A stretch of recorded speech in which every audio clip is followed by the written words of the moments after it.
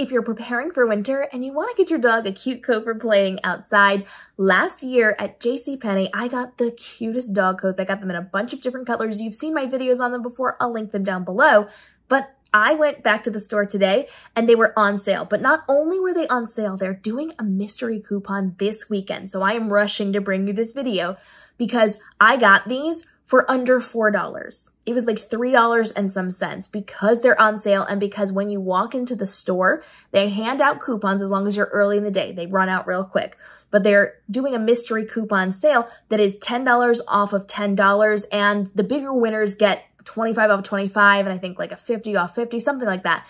But the bare minimum you can get is $10 off of $10. So if you go in on Friday, Saturday, or Sunday, you can get the coupon and you can get these coats in solid colors in the plaid prints. There's a bunch of options for under $4 out of pocket and you can get just the cutest little winter coats. Now, I will say, depending on the type of dog that you have, they will or will not fit super properly, but all you have to do is add a little bit of Velcro to adjust it if you have a dog like an English Springer Spaniel who is built a little bit differently in the chest than certain other types of dogs. And I showed you how to do that last year, so I'll link those videos down in my description as well.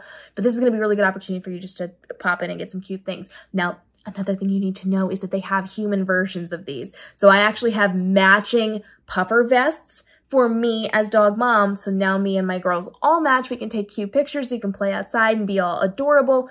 And it's happening this weekend at Penney's. Usually I don't tell you about things that I don't have affiliate links for, but this is just, it's so freaking cute and I couldn't help myself. So here you go. This is my gift to you. I don't get anything from this. Run over to Penney's. You have to go in store to get the coupons and get the sales and all the things, but like under four bucks.